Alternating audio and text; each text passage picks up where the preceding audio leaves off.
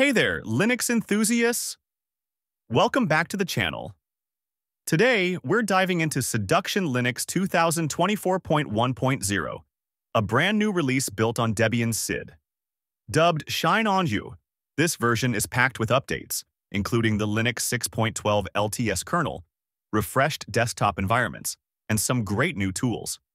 Siduction 2024.1.0 is synced with Debian SID as of December 23, 2024, and brings three desktop environments. KDE Plasma 6.2, the newly released XFCE 4.20, and LXQT 2.1. XFCE 4.20 offers tons of improvements, but the experimental Wayland session is currently blocked because it doesn't start.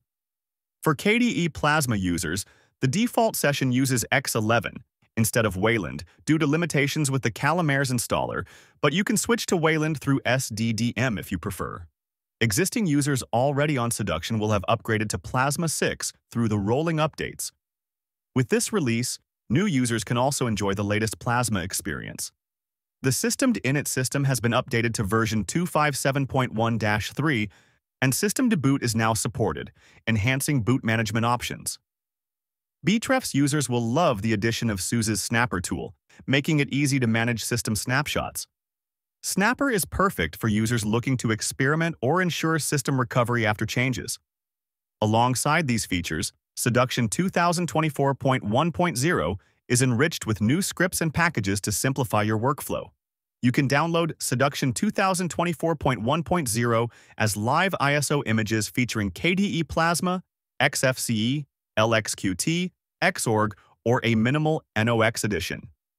If you're already a Siduction user, updating is as easy as running the command in your terminal, sudo apt update and sudo apt full upgrade.